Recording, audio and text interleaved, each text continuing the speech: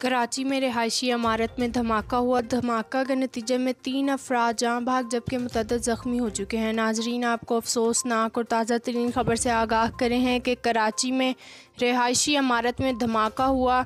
धमाका के नतीजे में तीन अफराज जहाँ भाग मतद ज़ख्मी भी हुए। हमारे नुमाइंदा अब्दुलरहमान की तैयार करदा रिपोर्ट के मुताबिक, धमाका की वजह से चार मंजिला रिहायशी इमारत का एक हिस्सा भी गिर गया, जबकि पार्किंग में खड़ी गाड़ियों को भी नुकसान पहुँचा।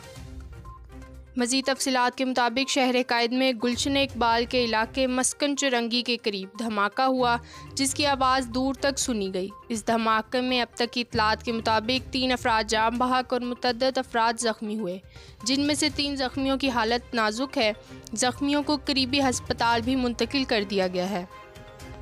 मजीद ये भी बताया गया है कि ये धमाका गुलशन चौरंगी के करीब वाक़ एक अमारत में हुआ, जिससे इस रिहायशी इमारत का एक हिस्सा भी गिर गया और इमारत की पहली और दूसरी मंजिल को ज़्यादा नुकसान पहुँचा। इसके साथ साथ धमाके से पार्किंग में खड़ी गाड़ियों को भी शदीद नुकसान पहुँचा। रिहायशी इलाका होने की वजह से धमाके के बाद इलाका में खौफ व फैल गया। धमाके के फौरी बाद पुलिस की भारी नफरी जाए वकुआ पर पहुँच गई और बम डिस्पोजल स्क्वाड के अमले को भी तलब कर लिया गया। नाजरीन, ये बात वाज रहे कि गुजशत रोज़ भी कराची के इलाके शीरी जहाँ कॉलोनी में बस स्टॉप के करीब धमाके में छः अफराद ज़ख्मी हो गए थे। आपको ख़बर दे रहे हैं कराची की जहाँ अफसोसनाक वाक़ हुआ है कि कराची में रिहायशी इमारत में धमाका हुआ है। धमाके के नतीजे में तीन अफराद अपनी जान की बाजी हार गए, जबकि मुतद ज़ख्मी हैं। ज़ख्मियों में से भी तीन अफराद की हालत तशवीशनाक बताई जा रही है। जबकि इमारत का एक हिस्सा भी गिर चुका है।